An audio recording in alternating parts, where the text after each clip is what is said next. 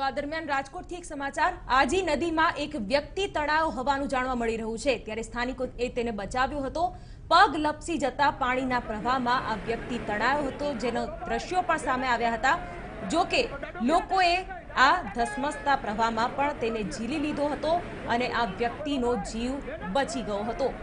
આજી નદીમાં અત્યારે પાણીનો પ્રવાહ વધ્યો છે, કારણ કે રાજકોટ અને સમગ્ર સૌરાષ્ટ્ર પંથકમાં અત્યારે વરસાદ વરસી રહ્યો છે, જેના કારણે આજી નદીમાં નવા નીર આવ્યા છે અને પાણીના ધસમસતા પ્રવાહમાં એક વ્યક્તિ તણાયો હતો.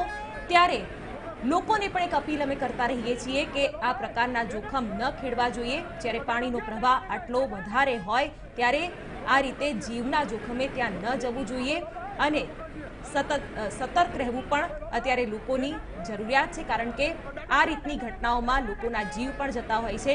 અહીંયા લોકો હાજર હતા જેથી કરીને આ વ્યક્તિને બચાવી લેવાયો.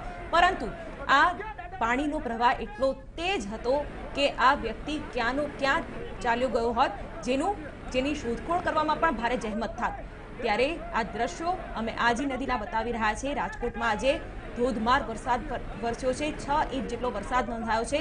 તેવામાં આજી નદીના પ્રવાહમાં એક વ્યક્તિ તણાયો હતો જો કે તેનો જીવ બચાવ્યા બચાવવામાં આવ્યો.